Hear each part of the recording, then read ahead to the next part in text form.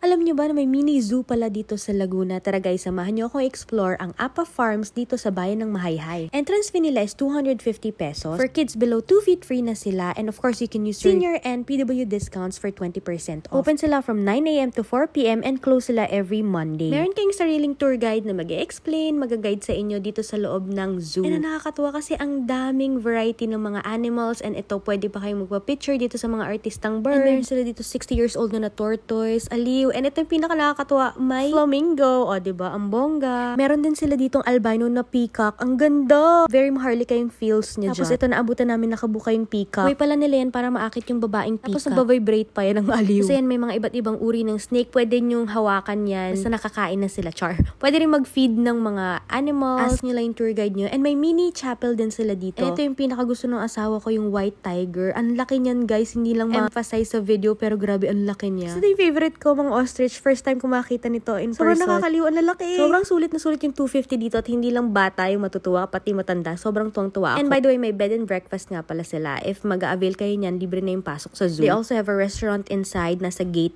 2. Sobrang lawak nitong Apa Farms. Yung gate 1 pang events, yung gate 2 pang restaurants and bed and breakfast nila. May pool din sila dito. Shoutout nga pala kay Kuya J. Mark. Siya yung nag-tour sa amin. Super knowledgeable Kaya, niya. Kaya nyo, dalhin nyo ng mga kids dito sa Apa Farms. Thank you so much for watching. Keep follow me for more vlogs. Just go with the flow. Bye-bye!